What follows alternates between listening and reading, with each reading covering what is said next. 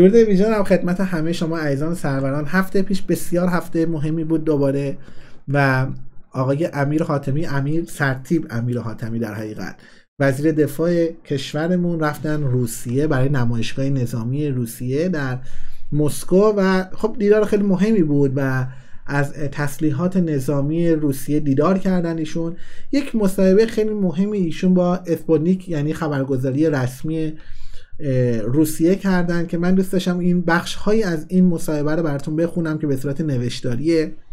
منتها قبل از اون بخشهایی از دیدار ایشون در بازدید از ششمین نمایشگاه بین المللی نظامی فنی روسیه رو دوست دارم بهتون نشون بدم. صداشو قطع می‌کنم که بتونیم که در این حال که می‌خونه حتی تصاویرش رو ببینیم که ایشون از سامانه S400 دیدار داره می‌کنه. سرتیب امیر حاتمی و این فیلمشونه که در اومده. و این دیدار خیلی مهمه در شرایطی که الان بحث لغو تحریم تسلیحاتی نظامی ایرانه و احتمالا ایران یکی از پرفروشترین تسلیحات نظامی رو در دنیا داشته باشه. و بزرگترین صادر کننده خواهیم بود در این حوزه. در بحث تسلیحات نظامی ما فقط تو بخش هوایی یک مقدار ضعیفیم. تو بقیه بخشا خودکفا شدیم. خب ایشون دیدارهایی که می‌کنه از تسلیحات نظامی روسیه مسئله مهمی مطرح میشه اونجا. اجازه بده این برای قبلی منتها آیه آنه این هم که چیز بود. بله. اینجا من میارم آیه خاتمی رو. بله این آقای خاتمیه که اینجا با ماسک و اینام دارید می‌بینید و اجازه بدید که من بخشی از مصاحبه رو براتون بخونم که طولانی هم هست. زود بخونم که به نتیجه برسیم. اسپوتنیک خبرنگار اسپوتنیک می‌پرسه که با توجه به شکست ایالات متحده در تمدید تحریم تسلیحاتی ایران چه آینده ای برای همکاری و خرید تجهیزات نظامی میان ایران و روسیه متصور هستید؟ آقای سرتیپ امیر حاتمی میگه که همکاری دفاعی جمهوری اسلامی ایران و فدراسیون روسیه مبتنی بر اعتماد متقابل همافزایی در چارچوب ایجاد صلح و ثبات منطقی و بین المللی که امروز اشغالگری و یک جانبه گرایی به عنوان تهدیدهای اصلی آن به شمار می‌روند و نهایتا منافع مشترک و متقابل پایگذاری شده و روند خوبی را در دههای اخیر به خصوص در یک دهه گذشته طی کرده. خیلی نکته مهمیه. ایشون میگه بر اساس منافع مشترک و متقابل. یعنی یه عده می‌خوام بگن ایران مثلا مستعمره روسیه است. حالا اینا که در مصاحبه اگه مستعمر هم باشیم که ایشون نمی‌تونه بگه. ولی واقعا حرفایی که می‌زنه با حقیقت میدانی یکیه. واقعا روابط ما با روسیه بر اساس منافع مشترک و متقابل بوده. ادامه میده ایشون همکاری در حوزه صنعت دفاعی یکی از ابعاد این همکاری بوده که با تحمیل تحریم های ظالمانه شورای امنیت تا قبل از برجام و ادامه بخشی از محدودیت ها به رقم توافق های برجام محدودیت هایی را در این زمینه ایجاد کرد. البته که ما هم بیکار ننشستیم و برای تأمین نیازهای نیروهای مسلح خودمان کار تحقیقاتی را توسعه دادیم. حالا اینجا پاسخ خبرنگار اسپونیک جوری میده که میگه ما نیاز نداریم از شما سلاح بخریم. گوش کنید. میگه که نمونه آن در حوزه پدافند هوایی بود و پس از ایجاد موانعی در انتقال سامانه های S300 به کشور توسعه سامانه پدافند هوایی را در اولویت قرار دادیم. و امروز در همه سطوح از ام از ارتفاع پایین ارتفاع متوسط و ارتفاع برد بلند دارای سامانه های قابل اعتمادی هستیم و به نقطه, به نقطه بسیار خوبی رسیده ایم و البته راه همچنان ادامه دارد. ببینید این بخش صحبت های ترتیب حاتمی بسیار مهمه. بسیار مهمه دوستان. طرف برگشته میگه که آقا تو الان مثلا خرید و فروشی که می‌خوایم بکنیم بعد از این داستان تحریم تسلیحاتی با روسیه داستان چیه؟ سرتی پاتمی دیدی چی جواب داد؟ آره من بهشون تیکه انداخت. آره ما اون موقع که اس 300 می‌خواستیم ازتون بخریم شما به ما ندادید در حقیقت. تیکه سردار میگم سردار سرتیب حاتمیه. میگه اس 300 به ما ندادیم ما مجبور شدیم بریم تحقیق کنیم. خب الان چیزایی ساختیم در برد کوتاه متوسط و برد بلند که قابل اعتماده. ما دیگه نیاز نداریم از شما بخریم. یعنی تیکه سرتیب حاتمی اینه. نکته کلیدی اینجاست که خیلی اینو نگرفتن واقعا. نکته کلیدی اینجاست که ایران نیاز نداره در روسیه خرید تسلیحاتی داشته باشه. تیکر هم میاد آقای حاتمی. تو مسکو هم این تیکر رو میاد. اومده دیده نمایشگاهتون دیده و داره این حرفا رو جلوی S400 میگه. S 400 دیدی که فیلمش الان دیدیم. S 400 می‌بینی برمیگردیم این روسا میگه که آره خب می‌دونیم مشکل ما اتفاقا تو همین بخش بود که بخش ضد هوایی و اینا بود که شما ندادید به ما S 300 درسته؟ الان S 400 داری ولی ما مجبور شدیم تحقیق کنیم. ما هم الان باور 373 دادیم این قدرت ایرانه. اقتدار یعنی اینجا. تحقیق کردیم خودکفایی به دست آوردیم و حتی امون نیازمند روسیه نیستیم. حتی تو بخش هوایی هم من باور باور بفرمایید. در آینده ایران چون ایران مسیری که داره میره خودکفاییه و به یک جاهای بسیار درستی خواهد رسید. اسپونیک میگه که ایران در زمینه موشکی در سالهای اخیر پیشرفت‌های بسیاری داشته.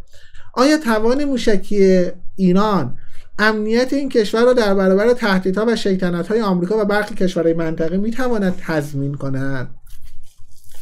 سرتیب میگن که ما در چارچوب رویکرد بازدارندگی برنامه های دفاعی را تنظیم و هدایت کرده که برنامه های تسلیحاتی از آن جمله بوده.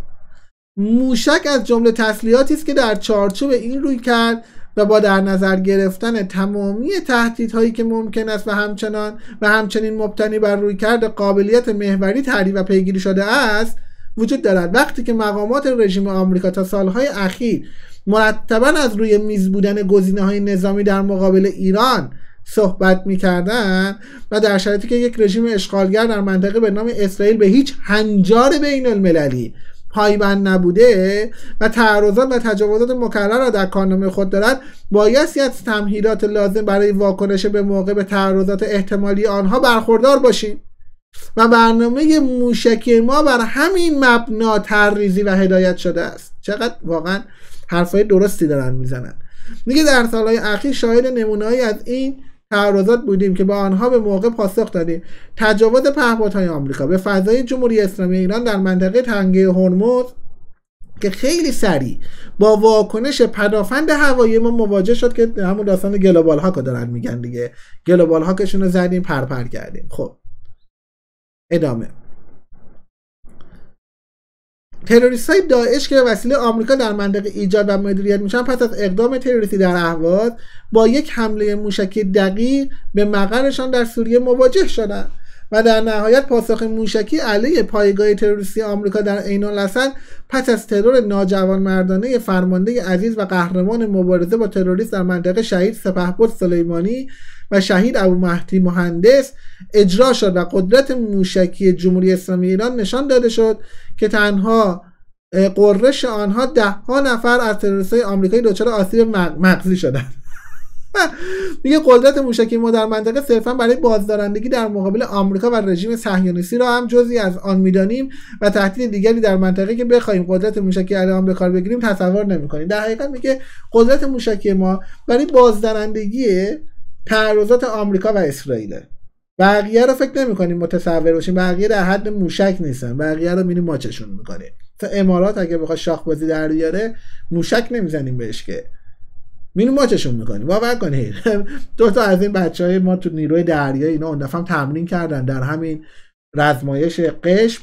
سپاه پاسداران با فرماندهی سردار بزرگ باقری اومدن یک رزمایشی انجام دادن که در وا...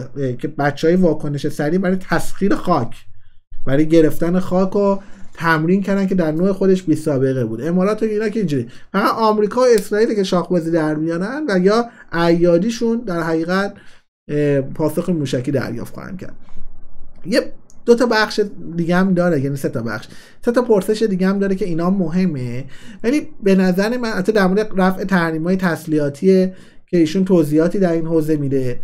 پرسش بعدی در مورد اینکه حالا امارات با اسرائیل رابطه گرفته صحبت ایشون در این مورد مهمه. میگه سیاست تسلیحاتی نیروهای مسلح ما مبتنی بر خود خود اتباط پرسش رو بخونم براتون. میگه که ایران چه برنامه‌ای برای خرید تسلیحات جهت حفاظت از خود در برابر تهدیدات منطقه‌ای و فرامنطقه‌ای با توجه به تنش‌های ایجاد شده از سوی امارات و ایالات متحده دارند آیا ایران برنامه‌ای برای خرید سلاح از فدراسیون روسیه دارد؟ آقا ما از شما روسا سلاح نمی‌گیرید سلاحاتون رو ببرید به یکی دیگه بفروشید. برید به ترکیه بفروشید. ترکیه نیاز به سلاح روسی داره. ما خودمون خود کفاییم حالا اینجا باز پاسخ میده. سرتیپ حاتمی. میگه سیاست تسلیحاتی نیروی مسلح ما مبتنی بر خود اتکایی و بومی سازی است. ولی این به معنای تامین صد درصدی نیازها به روش بومی نیست. ولی بر خلاف بسیاری از کشورهای منطقه معتقد به تبدیل زرادخانه تسلیحاتی نیستیم و از آنجا همه تسلیحات در داخل کشور بدون فشار خارجی اتخاذ می شود برنامه تسلیحاتی کاملا منطقی و مبتنی بر نیاز و صرف و, و صرفه با حداقل هزینه را با هدف تامین و حفظ دفاع اطمینان بخش اطمینان بخش تدوین و پیگیری می‌کنیم. ببین یک نکته خیلی مهمه. سرتیب حاتمی اینجا میگه که ما چون فشار خارجی تو تصمیم گیریامون نیست تسلیحات نظامیمون رو بر اساس منطق داریم جمع آوری می‌کنیم. قرار نیست ما اینجا بخشیم ذرات خانه تسلیحاتی. این حقیقت تاریخی ماست. ببین ما در دوران محمد رضا شاه سلاح زیاد داشتیم نسبت به کشورهای منطقه. ما خیلی سلاح داشتیم. و این که خیلی ها میگن آقا شاه مثلا ارتش قدرتمندی داشت. این ارتش قدرتمند که حتی فیک بود. تمام حالا تسلیحات نظامی که چی؟ لباس ارتشی هم که ما خودمون هم نمیدوختیم. حتی دکمه سراستین ارتشی رو از سوئد می آوریم کاری ندارم. ولی بحث این بود که ارتش شاهنشاهی تسلیحات نظامی زیادی داشت. بله داشت. خیلی هم خریده بودیم. بله. خودمون تولید نکرده بودیم خریده بودیم. ولی می‌خوام بگم همین خریدن که خودش در فی نفسه کار اشتباهی خرید تسلیحات نظامی از کس دیگر چون بر خود کفا بشه. حالا میگیم زمانش نبوده ایران داشته پیشرفت می‌کرده نمی‌تونسته خودش تولید کنه. تا اینجا منطقی. ولی این خرید زیاد به خاطر حس وطن پرستی شاه نبوده. یا به خاطر حتی بود شاه واقعا وطن پرست بود یادتون باشه. ولی این خرید تسلیحات نظامی به خاطر وطن پرستی نبوده. اصلا به خاطر نیازهای ارتش نبوده. ارتش ما نیاز به اون همه سلاح نداشته. امروز هم سلاح ها رو ما با منطق داریم جمع آوری می‌کنیم تولید می‌کنیم نگهداری می‌کنیم تو خانه هامون اون موقع به خاطر فشار کشورهای خارجی بوده. من شما رو ارجاع میدم به صفحات آخر کتاب امیر اصلان افشار خاطرات امیر اصلان افشار که ایشون فرمانده تشریفات کاخهای محمد رضا شاه پهلوی بوده. با ایشون هم فرار می‌کنه از ایران. هنوزم زندن اتفاقا دو هفته پیش متاسفانه در همین داستان کرونا اینا ایشون اومدن برن همون و پاشون لیست خورد سرشون شکست. براشون هم آرزوی سلامتی دارم. آدم دوست داشتنی امیر اصلان افشار. برید نگاه کنید. تا جز همون همون فردیه که اتفاقا در همون موقعی که شاه گفت من صدای انقلابتون رو شنیدم ایشون در همون اتاق بودن.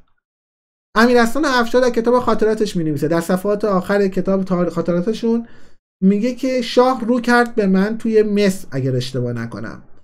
به من گفت چرا انگلیس با ما این کار کرده اینا؟ ما که همه کار کردیم برای انگلیس. ما حتی تانکای چفتن انگلیسی رو که نیاز نداشتیم به خاطر دستور آقاین انگلیسی خریدیم. یعنی بخش قابل توجهی از تسلیحات نظامی که ما موقع خریدیم نه به خاطر وطن پرستیمون بوده نه به خاطر نیاز ارتشمون.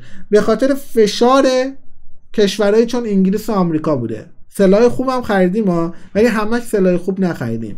بخشی از سلاحامون از آمریکا و کشورهای دیگر بابت فشارهای دیپلماتیکی بوده که به ما آوردن. مثلا انگلیس تانک تولید کرده مثل همین چفتن که من خبر دارم. آقا رو دستش مونده زیاد تولید کرده. مازاد داشته. آقا این مازادش چیکار کنه؟ در رو دستشه. با قیمت بالاتر فروخته به ایران. حتی با قیمت پایینتر هم نه که دلمون خوش باشه. اینا باز من نمیگم. خاطرات امیر اصلان افشار موجوده. می‌تونید بخونید. خب. ولی امروز سرتیب حاتمی یک نکته خیلی مهمی رو اشاره می‌کنه. میگه تصمیم گیری چون در ایران فقط خودمون تصمیم گیری و عامل خارجی نداره با منطق داریم این تسلیحات رو جمع آوری می‌کنیم. خب در ادامه این صحبت ها میگه که در مورد هواپیمای ماهان دوباره سوال میشه که سرتیب حاتمی هم میگه که هیچ اقدام سوی تروریست هیچ اقدامی از سوی تروریست آمریکای علیه منافع ایران تا کنون نه تنها بی پاسخ نمونده بلکه با پاسخهای چندگانه ای مواجه شده. که در موارد متعدد هم ما هم خود آنها ترجیح دادن در مورد آن سکوت کنند. یعنی ایران اینا رو ببینید هر اقدامی که علیه ایران میشه اینجا با سرتیب حاتمی اشاره می‌کنه. میگه آقا هر شیطنتی هم که علیه ما تا به امروز کردن ما پاسخ میدیم ولی دکترین ایران این نیستش که رسانه ایش کنه. حتی شما داشته باشید در مورد رزمایش اخیر پیامبر اعظم 14 که ایران انجام داد تو همین ماهی که گذشت یه اتفاق بزرگ افتاد. حالا کنار اتفاقات بزرگ مزرعه موشکی یا در حقیقت تسخیر ماکت ناو آمریکایی که به یک شکل خیلی قدرتمندانه ایران به نمایش گذاشت اقدام بزرگ این بود که دو تا از موشک از دستمون در رفت رفت سمت پایگاه العدیده قطر و الزفره بحرین آمریکا. دیدید ایران شوخی شوخی رزمایش برگزار کرد. شوخی شوخی هم موشکا از دستش در رفت ولی سربازان آمریکایی به صورت جدی رفتن تو پناهگاه الزفره بحرین و العدیده قطر. این اتفاق افتاد. و بازم ما اعلام نکردیم. یعنی دکترین نظامی و سیاسی ایران جار زدن رسانه ای نیست. که البته من نقد دارم به این قضیه ولی این دکترین ایرانه. چون من یه آدمی هم که ذاتا من نقد داشته باشم دیگه. چون من دارم کار رسانه ای می‌کنم با جار و جنجال. نمی‌تونم از این دکترین جمهوری اسلامی دفاع بکنم. ولی دکترین جمهوری اسلامیه. اینکه ایران نمیگه به این منزله نیستش که پاسخ نداده. و همینو ما از کجا می‌دونیم که موشک ایران شوخی شوخی از دستمون در رفت رفت سمت پایگاه الزفره بحرین یا العدیده قطر؟ از کجا می‌دونیم؟ خود آمریکایی اعلام کردن. خود آمریکایی گفتن شب تا صبح ما تو پناهگاه بودیم. خیلی هاشون هم پوشکا رو یادشون رفته بود بردارن حسابی تو شلوارشون گنج زدن. این حقیقت داستانه. و خب این های سرتیب حاتمی و دیدارشون در روسیه بسیار حائز اهمیت در آستانه لغو تحریم تسلیحاتی ایران. درست حالا آمریکا گفته من این داستان مکانیزم ماشه یا هر چیزی رو من بخوام هر غلطی که می‌خوام بکنم انجام میدم انجام بده هر کاری دوست داره بکنه. بحث اینه که آیا می‌تونی اجرا کنی یا نه. ببین یه حقیقتی هم در مورد این مکانیزم ماشه بگم و این برنامه رو اینجا ببندم و یه استراحت داشته باشیم برای برنامه بعدی. حقیقت داستان اینه که دنیا نمی‌تونه جلو آمریکا رو بگیره برای برگردوندن مکانیزم ماشه. اینو یادتون باشه. اما وقتی که دنیا باش مخالفه پس اجرای این داستانی که آمریکا می‌خواد انجام بده پای خودشه. آقا آمریکا برمیگردونه خیلی میگن می‌تونه یا نمی‌تونه آمریکا می‌تونه. می‌تونه مکانیزم ماشه رو برگردونه. اونم به خاطر خیانت بخش قابل توجهی از این ظریف. حتی حالا اون خیانت ها مگه نبود؟ باز می‌تونه چون آمریکا اول قدرت از این نظر. کشورهای دیگه هم نوچشن. اما یک حقیقتی که خیلی ها نمی‌دونن اینجاست. حداقل خود آمریکایی ها حداقل نمی‌دونن. درسته تو برمیگردونی. خب برگردون. ما کار خودمون رو تو منطقه می‌کنیم تو دنیا می‌کنیم. همین الان کشتی گلستان ایران که تا اومدی محموله آلومینا که این آلومینا در حقیقت اکسید آلومینیوم هست و برای ساخت موشک به کار میره. الان 14 هزار تن ما داریم میاریم ایران. خودتون هم اعلام کردید هنوز زمین کشتی به تنگه جبل طارق نرسیده. هنوز تو اقیانوس اطلسه. می‌تونی کتف چپ ناخدا رو برو بخور. ولی نمی‌تونی. نخواهی توانست. تو در حوزه حقوقی اینا آره حقوق می‌تونی بذاری کنار. یه گردنم کلفته. رو کاغذ مکانیزم ماشه رو برگردونی. ولی مهم اینه که آقای ترامپ تو آخه با ماژیک هم دوست داری امضا کنی خیلی چیزا رو؟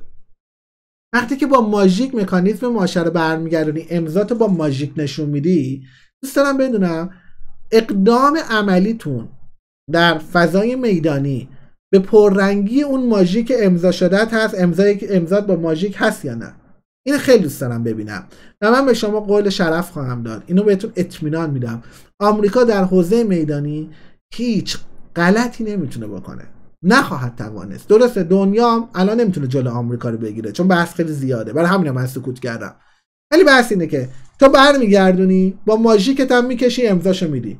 ببینیم اقدام عملیتون چیه. به پررنگی اون امضات با ماژیک هست یا نه؟ در بحث میدانی حشم صورت فرماندهان نظامی ایران و کشتی های تجاری ایران هم نخواهی خورد. خواهی دید؟ حالا روزا میاد زمان میاد. ما که هرچی زمان خورده بزنم به تخته. خدایا یه بار زایمون کن. هرچی زمان خورده حرفامون هم درست در اومده. به حال دمتون گرم. این صحبت سرتیب حاتمی خیلی مهمه. دو تا تیکه سنگین به روسا اومد. که آقا ما نیاز اونا بهش گفتن شما می خرید بکنید از ما. حالا نمایشگاه گذاشتیم. ایران گفت نه ما S 400 هم می‌خوام به ما بدن. چندین بار روسا اومدن التماس که S 400 بگیریم. زمانی که ما در این بخش ضد هوایی ضعیف بودیم یادمون باشه همین روسا به ما S 300 نفروختن. این روابط ما با چین و با روسیه بر اساس منافع مشترک یادتون باشه منی که از چین و روسیه دفاع می‌کنم بر اساس منافع مشترک ایران ها منافع ملی ایرانه. وگرنه بدانید چه چین چه روسیه. اینا عاشق چشم ابروی ما نیستن. شما همیشه تو ذهن گور بابای همه یعنی ما داریم با همه کار اقتصادی هم می‌کنیم. ما زمانی که نداشتیم شما باید به حرف جمله آخر خامنه ای گفت. ما باید ابرقدرت بشیم. چون اگر ابرقدرت نباشیم و نداشته باشیم همین روسیه که امروز داره به ما التماس می‌کنه S400 بفروشه یادتون باشه. S300 به ما نداد. همینا. یعنی حالا که می‌بینه ما باور 373 داریم میگه بیا من بهت S400 بدم. نه. الان بذار دیگه جلوی کوزه آبشو بخور. بذار جلوی آینه S400 بشه S800 الان دیگه به دردم S400 تو نمی‌خوره. اون زمان که من نیاز داشتم S300 نیاز داشتم تو به من ندادی. حالا که من باور 373 دارم به من پیشنهاد S400 می‌کنی؟ نه دیگه خودتی دیگه. نمی‌خریم. و سرتیب حاتمی بسیار شیک و مجلسی پاسخ روس ها رو به این شکل میده. و آدم لذت می‌بره. این ابرقدرتی ایرانه. ایران باید ابرقدرت بشه. اگه ابرقدرت نشی تو سرت می‌زنن. حتی دوستانت بر سرت می‌زنن. یادت باشه. ایران باید بره به سمت ابرقدرتی نظامی و رفته و شده. فقط الان مشکل ما هواپیماست. الان فقط مشکل ما. باور بفهمید ما اگه قدرت ساخت هواپیمای F35 رو روزی داشته باشیم همین آمریکایی که امروز به جز اسرائیل به هیچ کدوم از کشورهای منطقه هواپیمای F35 نداده میاد التماس می‌کنه به ما اصلا هواپیمای F70 بده. حالا F70 که نداریم مثلا دارم مثال میدن دو برابرش می‌کنه. حتی اون موقع اگر مثلا هواپیمای پیشرفته تر F35 رو مثلا ضرب در دو کنیم بشه 70 اون موقع میگه آقا بیا F70 بهت بدم. مثال دارم می‌زنم. اگر بدون داری اگر بدون توانایی ساختش داری هر چی بخوای بهت میدن تا زمانی که اینا توانایی ساختش رو نداری بهت S300 حتی دوستت بهت نمیده. روسیه با ما دوست دیگه. تازه نیاز داره جمهوری اسلامی تو منطقه اینا چون روسیه می‌دونه سناریوی بعد از جمهوری اسلامی هر چی باشه به ضرر روسیه است. سناریو تجزیه ایران باشه یا نه یه حکومت دیگه باشه.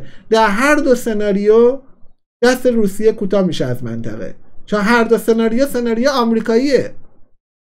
بعد از جمهوری اسلامی هر سناریویی که در ایران اتفاق بیفته سناریو آمریکاییه. روسیه می‌دونه دهنش سرویس میشه. ولی با این وجود به ما اس نداد. همین پوتین بیشرف به ما اس نداد. ولی حالا می‌بینه ایران قدرت داره. حالا میگم بیا همین پوتین همین یک سال پیش که درگیری ما با آمریکا یه خورده بعد از گریسوان و گلوبال هاک و بحث آرامکو اینا بالا گرفت به سر سردار سلیمانی. بارها پیشنهاد داره بیا اس 400 بهت بدیم. ولی ایران غرور داره. حتی تو هم که باید داریم کار می‌کنی آقای روسیه نه قربونت برم. همکاری می‌کنیم در سوریه. ولی آقاین روس ما حواسمون هست اون زمان که نیاز داشتیم به ما اس ندادید. حتی سر موشک هم به ما ندادید که سردار کاظمی روانشون شاد بهش برخورد. با سردار تهرانی مقدم اومدن ایران خیلی بهتر از موشک های شما رو ساختن. و این بحث غرور آفرینیه که ایران داره میره جلو. قربونتون برم این بحث صحبت رو میبندم همتون رو به اهورامزدا میسپرم و پاینده ایران میگم. بدرود.